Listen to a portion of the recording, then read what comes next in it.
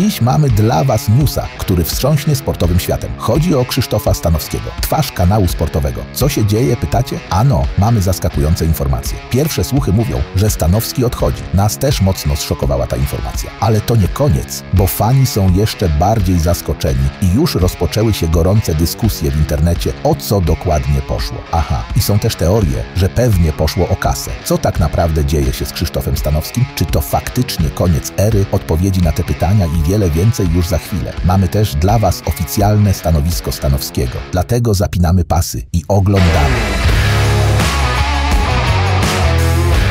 Krzysztof Stanowski, jedna z twarzy kanału sportowego na YouTubie, który zyskał szybko popularność, miałby zrezygnować. To niemal jakby Batman opuścił Gotham, prawda? No dobra, może nie aż tak drastycznie, ale sprawdźcie to. Kanał sportowy ma już ponad 1 milion subskrybentów. Podobno Stanowski wykasował z opisów na swoich social mediach wszystkie wzmianki i hasztagi związane z kanałem sportowym. To jak usuwanie zdjęć z byłą dziewczyną z Instagrama zawsze wywołuje mnóstwo spekulacji. Niektórzy uważają, że pewnie poszło o kasę, ale co ciekawe, ciekawe, w ostatnich dniach nie prowadził swoich stałych programów na kanale. Co więcej, podczas zebrania zarządu zastąpił go Wojciech Kowalczyk. Michał Pol podczas ostatniego programu rzucił tylko, że Stanowski jest w Barcelonie na meczu Ligi Mistrzów. Czyli do chwili obecnej zero dokładnych wyjaśnień, zero konkretu. A może to czyste zagranie marketingowe? Napiszcie koniecznie w komentarzu swoją opinię na ten temat, bo uważni internauci zauważyli już kilka znaków na to, że Stanowski faktycznie może odejść z kanału.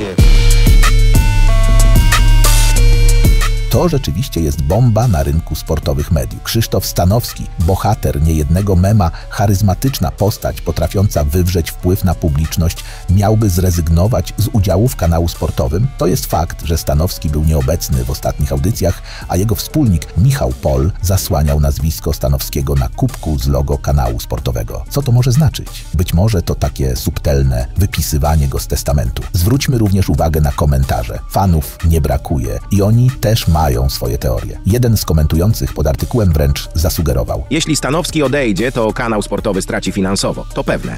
Może chcą odejść typowo w kierunku sportowym, bez tematów plotkowych. Jeśli Stano chce odejść, to nie dziwię mu się. Ma w mediach teraz swoje 5 minut i cokolwiek w internecie zrobi, to zarobi. Ma swoje weszło, a jeśli stworzy jakieś inne medium, a będzie ono podejmowało kontrowersyjne tematy, to tak dużo fanów, że szybko może przegonić kanał sportowy, bo kanał sportowy w tej formule powoli sięga sufitu. Osobiście oglądam kanał Dela Pola i Smokowskiego, ale Stanowski zrobił kilka fajnych wywiadów w Hate Parku i szkoda by odszedł. Wydaje mi się, że ma najlepszy z czwórki właścicieli nos do biznesu, choć Mateusz Borek pewnie mu nie ustępuje. Możliwości są niemal nieskończone. Jak mówił były trener polskiej reprezentacji w piłce nożnej, Janusz Wójcik. W futbolu i wojnie wszystko jest dozwolone. Stanowski zresztą nie od dziś zna się na marketingu. Na jego Instagramie zawsze pełno jest kontrowersyjnych postów, które generują dyskusje. Niektórzy nawet porównują go do Kanye Westa sportowego dziennikarstwa. Nigdy nie wiesz, co wymyśli, ale na pewno będzie o tym głośno. Mimo tego, że ostateczna decyzja w tej sprawie nie wyszła jeszcze na światło dzienne, sam Stanowski napisał pod swoim ostatnim postem na Instagramie, że jeśli będzie miał coś do zakomunikowania, to przecież zakomunikuje. Może więc to tylko szum medialny, a może przed nami prawdziwa rewolucja na polskiej scenie sportowej. No więc, moi drodzy, jak myślicie, co tak naprawdę kryje się za tą zagadkową sytuacją? Czekam na Wasze komentarze, bo historia z pewnością będzie się rozwijać, a ja obiecuję, że będę na bieżąco z tym wszystkim, co dzieje się w świecie sportu. Krzysztof Stanowski to zdecydowanie jedno z najgłośniejszych nazwisk dziennikarskich sportowych w Polsce, więc jestem pewny, że jeszcze będzie się działo.